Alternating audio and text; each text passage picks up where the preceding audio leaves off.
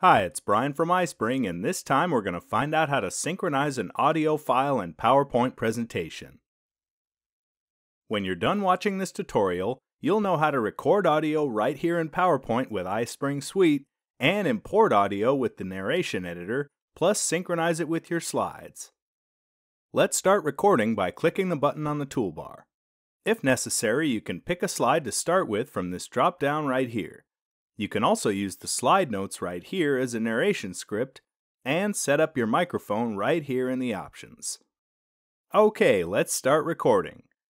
As the recording progresses, you can use this button to advance slides and animations and then click OK when you're done. Alright, now let's go over here to the narration editor and see how it looks. This is a more detailed interface that shows slides and media clips on a timeline that's easy to edit.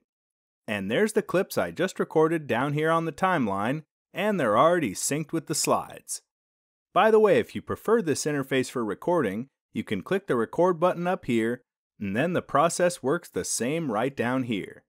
Just sync the slides as you normally would, and then click Done to save your changes, or Cancel to undo them. Now I'll just select all these clips and delete them so I can show you how to import pre-recorded audio. I'll just go back to the beginning, then click the audio button on the toolbar, and find the file I want to import. I'll put it at the beginning of the slide, and uncheck this box since it's a single audio file that spans several slides. Okay, looks good. Now if you want to manually sync your imported audio, just click the sync button up here, and it works just like the recording process, only this time you're listening to the audio instead of recording it. I'm just going to cancel this sync and show you how to do it right here on the timeline.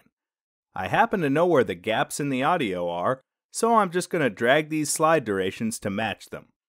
And I'm going to drag this on-click fade animation to show up when the paragraph starts. Okay, looks good. Now I'm going to save and close out of the narration editor, and now I'm ready to publish.